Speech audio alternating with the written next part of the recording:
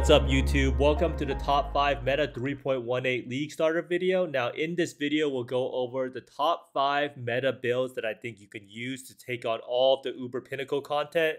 Now most of these builds will skew really heavily towards having extremely good single target because a lot of builds do reach this red map wall where you just can't kill the map bosses anymore. And if you roll any life mods on a map, the map boss is pretty much unkillable. And I do think with some of the new mods or Arch Nemesis mods on rares, that single target is probably going to be a lot more important than before. So that's why most of these builds will be very single target oriented.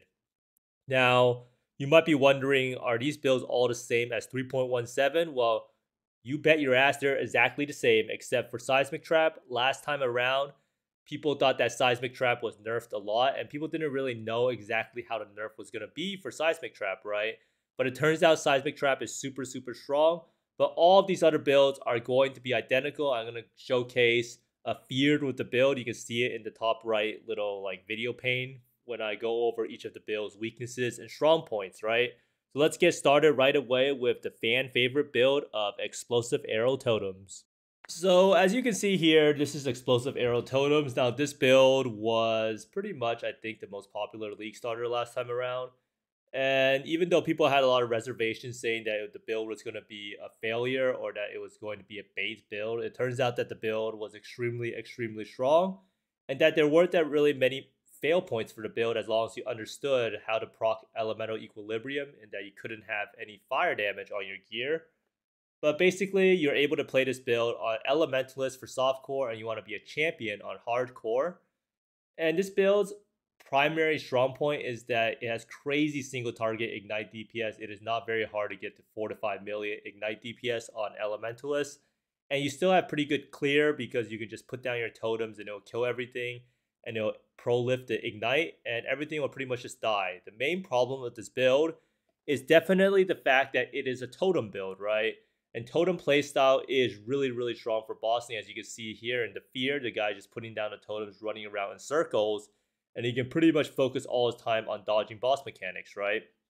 But four mapping is not exactly the fastest mapper in the world, and it also means that your build will kill a lot of things in the back and that you can't loot the items, right? So you do have to do a lot of backtracking. This build is extremely, extremely tanky, even in the softcore variant. If you do the hardcore variant with champion, you have an extra layer of fortify on top, along with a lot, lot more aura effect, right? So you can get 100% spell suppression. You can also run Grace, Determination, and Defiance Banner.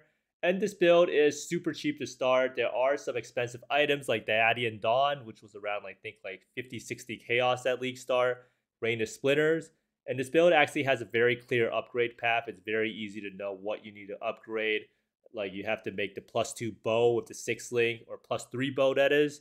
And overall, lovely experience wise, it's kind of not exactly the most straightforward build to level because you can't just start off playing EA totems. Both builds will be Armageddon brand into Armageddon brand with cremation, and then you'll probably swap to EA totems sometime around like Act 9 or Act 8, depending on when you want to swap, right?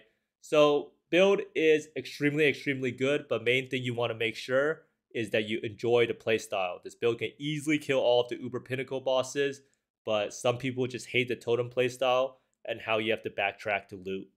So next up, we have my favorite build of all time or maybe not, Aura Stacker might be, but this is the build I will probably be playing for 3.1a if I lack creativity because it's what I played at 3.17, right? So the reason why I bundled these two skills together is because Spectral Helix and Lightning Strike are pretty much the same build, right? They're both Nightblade Claw builds that takes advantage of how broken Nightblade support gem is.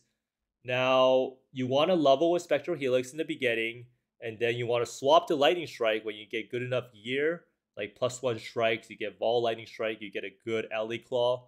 So, and then you'll have extremely, extremely good map clear speed, right? So in the start, you want to be Berserker, Raider, or Champion in softcore. You want to be definitely only Champion in hardcore. Now, the reason you want to do this is because Berserker has by far the most damage, and Champion is the tankiest. Now, I do think that Berserker is going to be the best option for almost everyone if you're playing in soft core, because eventually, if you plan on getting a Headhunter or Mage Blood, A champion cannot get that because they have to rely on using the Perseverance unique belt to get a majority of their damage. Now, I don't really know why you would choose to play a Raider because if you want to be tanky, then you should probably just be a champion. If you want to do the damage, you probably just want to be the Berserker. So Raider is more in between, right? Now, you want to level Spectral Helix in the beginning, and the single target for this build will be carried by Vaal Lightning Strike during mapping. So you'll pretty much save up Vaal Lightning Strike, go to the boss, drop the Vaal Lightning Strike, and the boss should be definitely dead. And the map clear is extremely, extremely good for this build unless you run into pebbles. A lot of people hate how you attack and the pebbles will block the lightning strike projectiles. Now, the Helix playstyle can cause a lot of people to quit the game. A lot of people's main complaint with this build was when they tried to play it was that they couldn't handle playing Spectral Helix for more than like 10 hours, right? And in order to switch into Lightning Strike, you probably had to play Spectral Helix for like 8 to 12 hours at the bare minimum. And you could swap before you get Omni, but ideally you might want to get Omni and you might want to get alternate ailments before doing a full swap. Now, the benefit of this build is you can make this build borderline unkillable. You can have 90% res, you can have 100% spell suppression, you can have 50k plus armor and evasion in the champion version. And for the berserker versions, you can actually convert all of your phys taken as ele and then pretty much be nearly immune to elemental damage and phys damage, right? And in my opinion, out of all of the league starters, this is the best build progression in that you'll have meaningful upgrades at every stage of the game. In the end, you could even swap into a 12 lane claw and reach like around 7 to 800 million DPS. And this build just feels good at every stage of the game. As you can see, the fear just gets melted, and this guy doesn't even have the best of the best gear, right? So beautiful build progression, but the main sticking point with this build is that people have played it a lot already, and some people just can't handle leveling with Spectral Helix. Next up, we have the build that I actually played in the Gauntlet, and it is Detonate Dead Necro. Now, this build is played on both on Necromancer in both softcore and hardcore. This build has been around for a while, and it has a really smooth leveling experience. You pretty much play it as Arma Brand and Cremation, and then once you get Vaal Detonate Dead, you switch over to Vaal DD. Now, the main thing about this build is a lot of people kind of underestimate how good Detonate Dead can be in soft core. This build is pretty much an immortal build if you get Aegis Aurora, and you can actually scale the single target damage to super, super high with the Bug Spectre mob currently. There's an Auric Colossus mob that has like 65% more life than it should have. So the way that Detonate Dead works is that you desecrate the ground and then you blow up the corpse, the Spectre corpse, and then this spreads this big ignite to everything around it, right? So that is something that makes it so that you don't need any gear at all in order to do a lot of damage. This build could also go into soft core and have like 20 mil ignite DPS if you get Phantasmal Unearth and then scale the gem level of that gem so that you can get corpses with an insane amount of life with Ashes of the Star. Now, the main downside of this build is that it is a two button playstyle. This build will never have the fastest clear speed in the world. And compared to Lightning Strike, the build's single target, or not single target, yeah, this build single target and clear speed at the super uber end game is obviously incomparable. And you really should make sure that you actually like the two button playstyle that you can handle desecrating and then pressing detonate dead. And you do have to kind of aim where the corpses are. And a lot of people have also told me that it is not exactly the easiest build to boss with because you have to dodge mechanics and then you also have to desecrate and then detonate dead and then make sure you manage your focus so it's a little bit annoying but very very strong build it has a really good build progression in terms of mapping in that all the maps will pretty much feel the same you could do a t1 map and a t16 map and because you scale the damage with your Spectre corpse life, it just feels all the same. Now, this build also has an extra defensive layer of block and spell block while also having 100% spell suppress and high evasion slash armor. And having the block and spell, spell block is why you see this because with Aegis Aurora and spell block, your build can be near immortal. So next up, we have the kind of the newcomer build. Not really newcomer in that this build is new, but newcomer in that this build was not played that widely last league. And I do think that this will probably be the most popular league starter if I had to guess.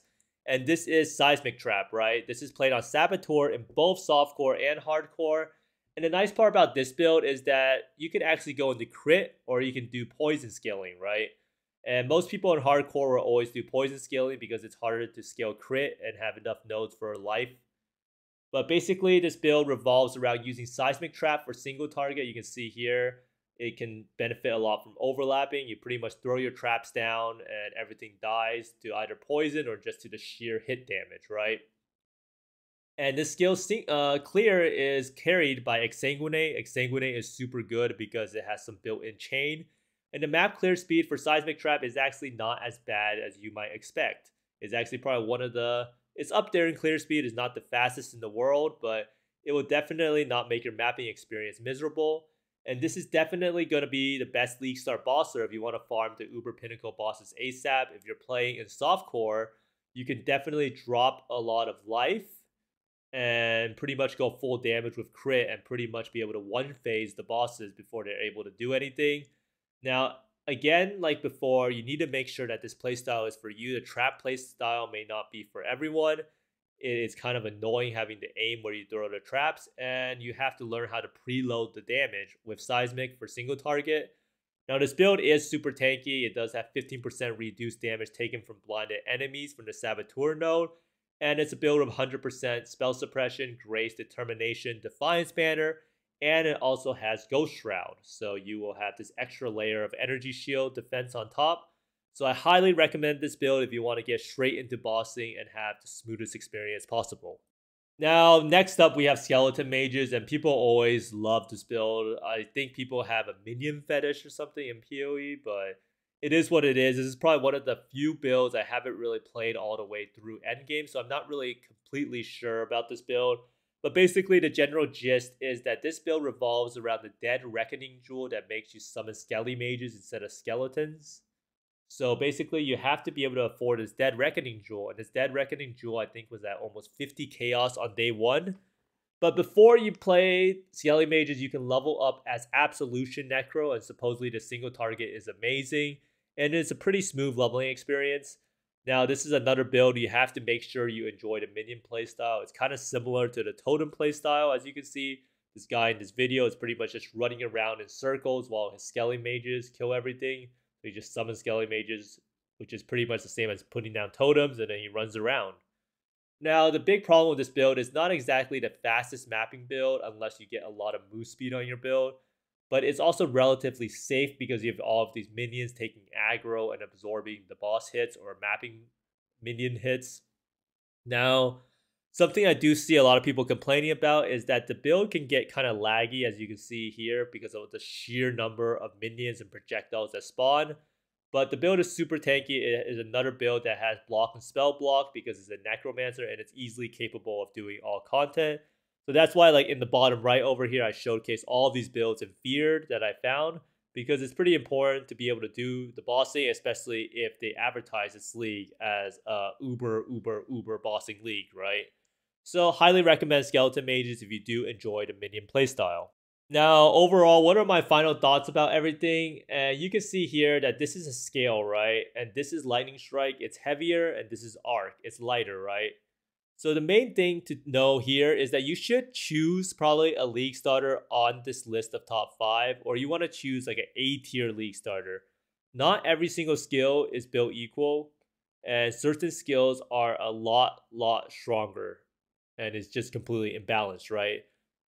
Like more fairly putting it, the skills in this game are not balanced. So if you enjoy being strong and you want to have an easier time at League Star, I highly recommend you choose a strong build and not just choose a build that you want you don't really necessarily want to play, but you're playing because you haven't played before, right?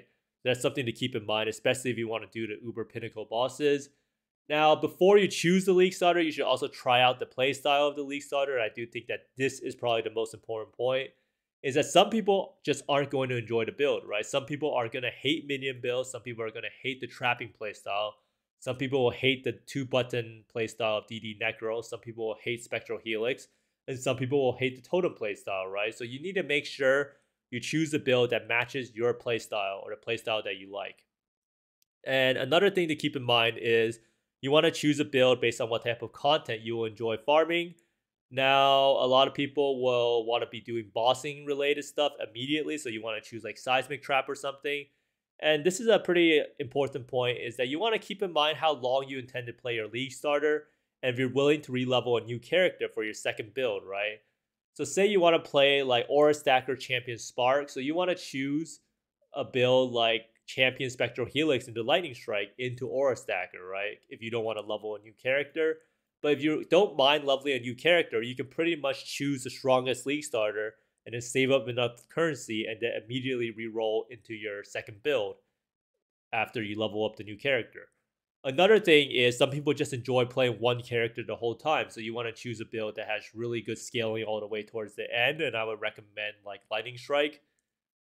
But it really just comes down to your goals of the league, so make sure to choose a league starter that accompanies your goal, accompanies your play style, and accompanies what type of content you want to farm. But hopefully you choose one on this list. I do think that these are probably the top five. I think Fire Trap can be an honorable mention. And I know there's a lot of talk about Creeping Frost, but these are tried and proven. And I have played all of these builds before, so they have my stamp of approval. But thanks for watching, everyone. Let me know down in the comments below which skills you want to see a build guide for, and I will be updating the build guide for the Lightning Strike character and maybe making a DD build guide. But thanks for watching, everyone. I hope you find more Mirrors, Exalts, and Mage Bloods than me, and see you next time. Bye.